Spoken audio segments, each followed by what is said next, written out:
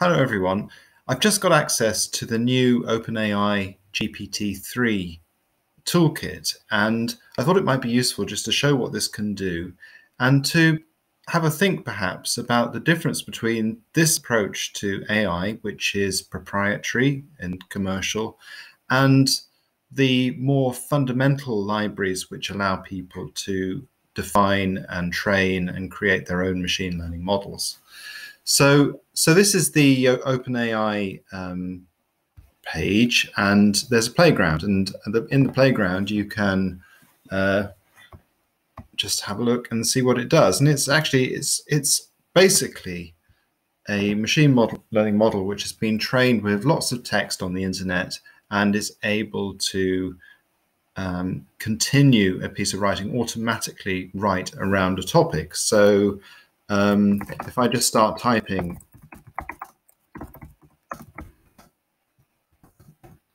something like that, it will continue.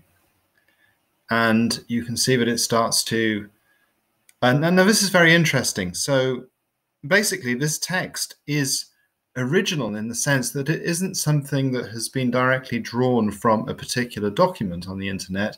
It's been assembled through a process of training from lots and lots of text on the internet, and it's it's basically used an algorithm to reproduce patterns which fit the pattern of the initial text that I've, I've given it. Now, um, and on it goes, and it's, it's, kind of interesting. It's also interesting that it even makes spelling mistakes, which presumably it's also been trained to reproduce. Um, it also works in any language, so uh, it's not just English documents that it's been um, uh, absorbing, but um, if I just start so, a ridiculous thing, so um, it's will riff on any subject, and of course, if I just start with something as simple as that, it could go anywhere. But it's very interesting to see this um, in action.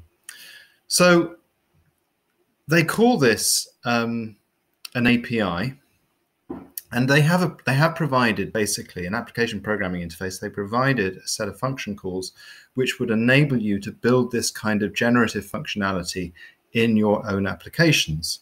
Um, but the key thing about this is that the the underlying technology is called GPT-3, and the PT stands for pre-trained. So this is basically a pre-trained machine learning model which has this capacity to um, generate text in response to particular prompts. But the API doesn't give you the ability to train your own model. It, you, you basically use the models that they've created. And they've created a variety of models, uh, you can see, and they've been trained in different ways, although uh, I'm not sure if there's any detail on specifically how the models have been trained. Uh, I'd be surprised if there was because this is part of the, this is what they're selling basically. They're selling these models which they've created, which have this uh, capability to generate text.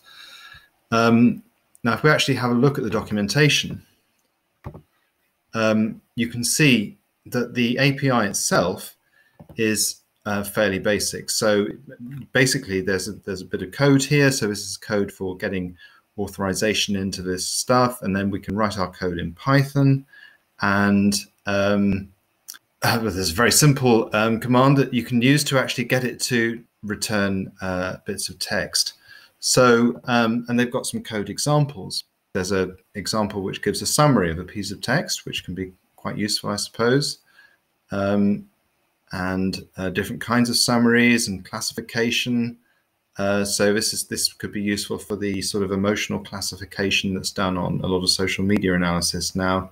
But it, this is all high level. So this is basically um, a set of commands to use a pre-trained model.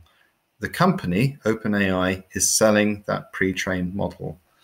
So this is a different order of uh, engagement at a kind of technical level with AI than the kind of stuff that Google's been doing with uh, TensorFlow.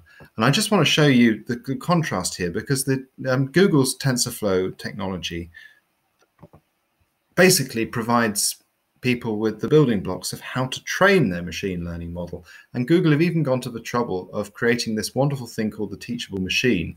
So this is the Teachable Machine uh, page, and it allows you to create your own machine learning models. Uh, and it does this because it's got uh, quite a beefy processor in the background running on one of Google's servers, which allows it to train machine learning models.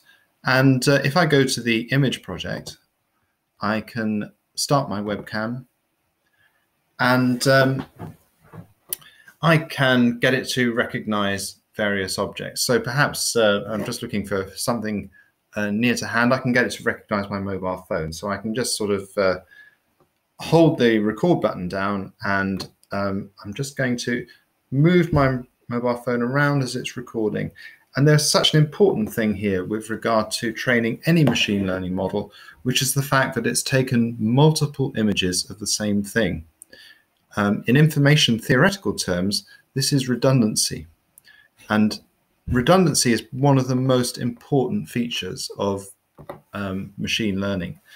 And basically, if I uh, go through this process and um, now there's uh, no point in just training it to recognize one thing. So I'm going to get, ask it to train another thing. In fact, I'm going to say, rename this class here as phone. And I'm going to record something else. I just happen to have a 20 pound note in front of me. So I'm going to wave this around and record multiple images of my 20 pound note. Um, there we are, lovely. And maybe do both sides as well. Okay, here we are. Okay, lovely. So um, now I have, um, I'm just going to call that money. So can it tell the difference between a phone and money? And if I train it, uh, what I'm making in this training process is what OpenAI is basically selling. I'm making a model. And, and obviously I can create functions to call this model with different um, different bits of data and see what see what it does. But um, but basically, I've constructed a model, and you can see that actually Google allow me to export this model, which is uh, very interesting. I'll, I'll show you that in a second. Anyway, let's just test it. So here's my phone. Well, it's pretty convinced that's my phone. Actually, um, if I wiggle it around, it's not so convinced. Here's the money. Phone, money, phone, money, phone, money. Right, there we go. So it's uh, very convincing, isn't it? If I want to export it, I just click on the export button and um, I can download the model as a file. And if I um, actually, I can take this code and run it in a web page, um, put the file that I've downloaded in a folder that this uh, web page can see, and I have a working web-based program using the machine learning model that I've created with these images. Actually, there's more I can do with this um, because I can actually upload images. So if I, for example, have a huge body of images of butterflies and I want to create a machine learning program to recognize butterflies, I just upload them into this. So it's interesting to compare the flexibility of the facilities that are provided by Google and the core libraries for training machine learning with what we get with GPT-3. And I'm not taking anything away from GPT-3.